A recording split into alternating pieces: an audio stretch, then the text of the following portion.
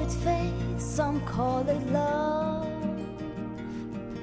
Some call it guidance from above. You are the reason we found ours. So thank you, stars.